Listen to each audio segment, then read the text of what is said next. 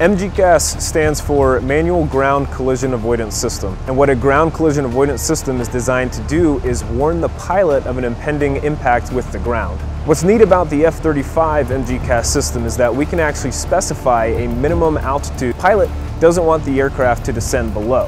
How we test that here at Edwards is we actually steer the aircraft towards the ground, but the way we can do that safely is that we actually set the altitude to be high enough to where telling the jet that the ground is significantly higher than it actually is.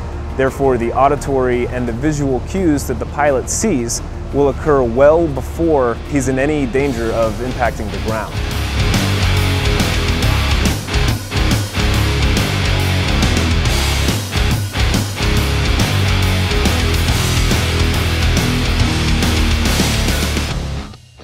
Most of the testing on the uh, GCAS system is actually done in the labs. They run through thousands and thousands of simulations, and by the time it gets to flight test, we only do a minor representation of the whole flight envelope.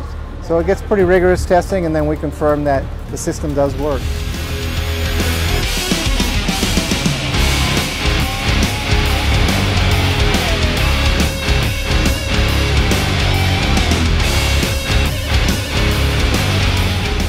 Ground collision avoidance systems are designed to prevent cases of CFIT, which is controlled flight into terrain.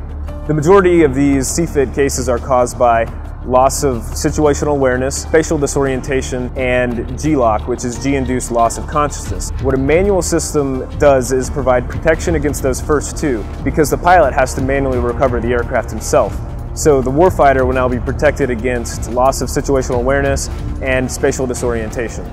The future of ground collision avoidance systems is being tested right down the road here at Edwards. The F-16s are currently at the end of their phase of testing for an auto ground collision avoidance system. What this auto system does is that it will actually take control away from the pilot uh, to recover the aircraft, and this protects against that third cause of CFIT, the uh, G-induced loss of consciousness.